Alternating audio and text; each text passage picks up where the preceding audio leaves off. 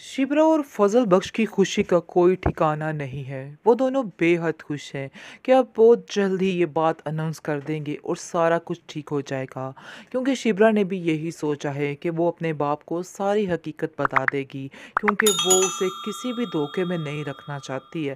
खैर, काफ़ी अच्छा सा फ़ंक्शन गुजर रहा होता है और बहुत ज़्यादा दोनों खुश होते हैं। और शिप्रा फजल बख्श को कहती है कि बस अब हमें बाबा से ये बात ज़्यादा देर तक नहीं छुपानी चाहिए। बहुत बहुत जल्द हमें ये बात सारी क्लियर कर देनी चाहिए। लेकिन आप देखेंगे जी, ख़राबी असल पैदा हो रही है, जो महरीन है, क्योंकि महरीन ने इनकी ज़िंदगियों में आकर इनकी ज़िंदगी को तबाह बर्बाद करके रख दिया है। वैसे भी हकीकत तो खुलकर सामने आनी ही थी, सो ऐसा ही होता है। सारी हकीकत खुलकर सामने आ जाती है और महरीन सारा भांडा फोड़ देती है।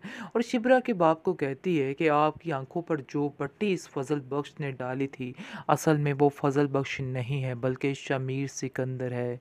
सिकंदर का बेटा है, जिससे आपको शदीद नफ़रत है।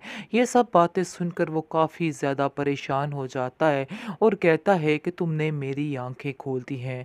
अगर तुम मुझे ना बताती तो मुझे कभी भी इस इंसान की असलियत का पता नहीं चलता। मुझे क्या पता था कि इस मासूम चेहरे के पीछे एक इतना बड़ा जानवर छुपा हुआ है।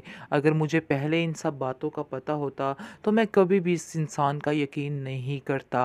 वो सीधा जाता है उसके पास और उसको जाकर कहता है कि तुमने इतना बड़ा झूठ हमसे बोला है, हम तुम्हें कैसे माफ़ कर सकते हैं? इस पर फजल बख्श उनसे माफ़ी मांगने की कोशिश करता है और कहता है कि आप मुझे माफ़ करते हैं, बस मैं आपको ये बात बताने ही वाला था।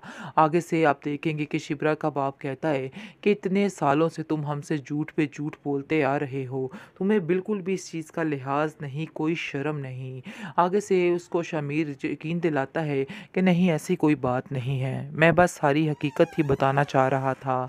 बस कुछ मुझे मौका ही नहीं मिला है। क्या मुझे बात करने का कोई मौका देंगे या नहीं देंगे? जिसको सुनकर वो कहता है कि नहीं, अब तुम्हारे पास कोई मौका वापस नहीं रहा है। अब तुम्हारी इस घर में कोई जगह नहीं है। मेरा तो दिल कर रहा है कि तुम्हें दिक्के देकर इस घर से बाहर निकालूं। लेकिन फिर भी बड़ी बात है कि तुम्हें मैं अपने ज़ुबान से समझा रहा हूँ कि तुम्हें यहाँ से फ़ौर निकलना होगा। वो काफ़ी माफ़ी तलाफ़ी भी करता है। लेकिन कहाँ अब शिबरा का बाप सुनने वाला है? वो तो साफ़ साफ़ उसको दो टोक सुना रहा है और कह रहा है कि अपने दिलो दिमाग से ये बात निकाल दो कि मैं तुम्हारी बात मानूँगा या अब कोई भी तुम्हारी किसी बात पे यकीन करेगा। शिबरा को जब इस चीज़ का अंदाज़ा होता है कि इंसान झूठ बो रहा था, उससे दिल पर काफ़ी ज़्यादा तकलीफ़ गुजरती है और वो कहती है कि, फजल बख्श, तुमने तो आज मेरा सर जो है नीचा कर दिया, अपनी मोहब्बत जो है सारी खाक पे मिला दी। आज तुमने मेरे लिए कुछ भी नहीं छोड़ा है। जिसको सुनकर कहता है शमीर कि तुम ऐसा क्यों कह रही हो? तुम्हारे पीछे ही ये सब कुछ किया था और तुम आज मुझे यानी कि दुदकार रही हो। आगे से वो कहता, कहती है कि नहीं, मैं ऐसे झूठे इंसान पर कभी भी भरोसा नहीं कर सकती हूँ।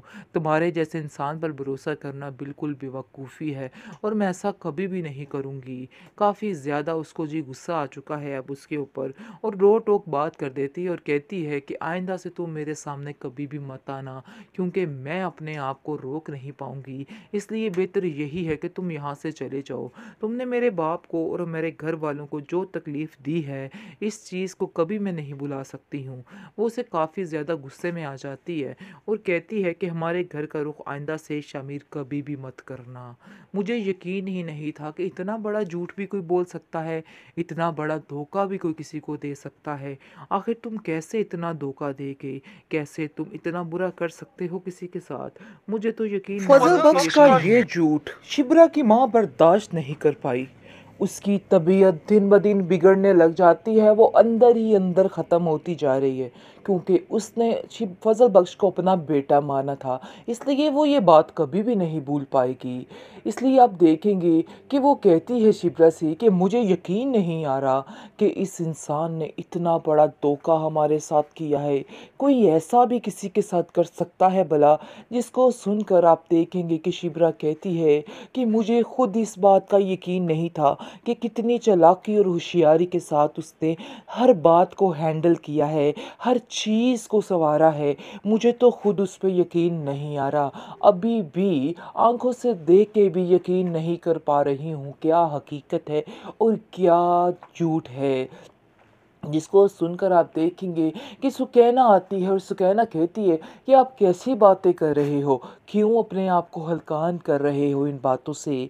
आप लोगों को क्यों समझ नहीं आ रही है कि वो सिर्फ़ और सिर्फ़ शिब्रा से मोहब्बत करता था, जिसकी वजह से उसने इतना बड़ा कदम उठाया है? लेकिन आप लोगों को तो इस बात की समझ ही नहीं आ रही है।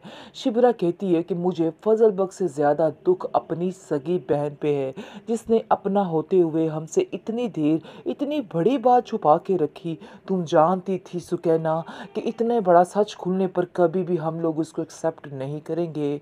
फिर तुमने झूठ क्यों बांधे रखा? क्यों इतनी देर तक झूठ बोलती रही? तुम्हें ऐसा नहीं करना चाहिए था। जिसको सुनकर सुकैना कहती है कि मैं भी पहले ऐसा ही समझी थी और सोच रही थी कि ये सारी बात खुलकर बताऊँ। लेकिन जब मैंने शमीर को समझने की कोशिश की तो फिर मुझे जाके अंदाज़ा हुआ कि नहीं, मुझे ऐसा नहीं करना है। मुझे फजल बख्श का साथ देना है। तो इसलिए मैंने ये ही किया है। लेकिन जी, बहुत ही परेशान हो चुकी है सुकैना, क्योंकि कोई भी उसकी बात सुनने को तैयार नहीं और शमीर बार बार उससे कॉन्टेक्ट कर रहा है और कह रहा है कि, सुकैना, कुछ करो प्लीज़ मुझे तो कुछ समझ नहीं आ रहा। ऐसा लग रहा मेरी सारी कश्तियाँ जल चुकी हैं। लेकिन जी, सुकैना उसको फिर से तसल्ली देती है और कहती है कि, तुम परेशान मत हो। फजल भाई, मैं आज भी आपके साथ हूँ। इसलिए आपको परेशान होने की ज़रूरत नहीं है। वो बड़े गुस्से में जाती है अपने घर और जाकर अपनी माँ से कहती है कि आप लोग उसके सारे एहसानात को कैसे बुला सकते हैं? इतने एहसानात उसके हैं कि आज मैं गिनवाने बैठ जाऊँ तो आप गिनती भूल सकती हैं। जिसको सुनकर उसकी माँ कहती है कि हाँ ये बात तो है, लेकिन हम चुका ही देंगे। लेकिन सुकैना कहती है शिब्रा से, चुकाने का वक्त आ चुका है, तुम्हें चुकाना इस तरह से है कि तुम्हें अपनी मोहब्बत जो है वो कायम रखनी है और इस झूठ को इग्नोर करके अपनी ज़िंदगी फजल के साथ शुरू करनी है। लेकिन शिबरा इनकार कर देगी। शिबरा कहेगी कि नहीं, ऐसा हरगिज़ नहीं हो सकता। मैं इस झूठे इंसान के साथ एक पल भी रहना पसंद नहीं करूँगी। लेकिन शमीर भी मजबूर था, जिसकी वजह से उसको फजल बख्श बनना पड़ा है। लेकिन इसको झूठ का सहारा नहीं लेना चाहिए था, जिसकी वजह से आज ये हंगामा हो चुका है। लेकिन सुकैना तो काफ़ी कोशिश कर रही है। घर वाले उसकी कोई बात सुनने को तैयार ही नहीं है। शिबरा की माँ दिन ब दिन काफ़ी परेशान रहने लग जाती है और उदास रहने लग जाती है, क्योंकि वो हर चीज़ में फजल बख्श की आदि हो चुकी थी। अब उसको समझ नहीं आ रही कि आखिर कैसे इन बातों को ख़त्म किया जाए, कैसे उसकी यादों को बुलाया जाए। अब वो बहुत कोशिश कर रही है, लेकिन उसे ऐसा लग रहा है कि जैसे उसकी सारी कोशिशें नाकाम होने वाली हैं।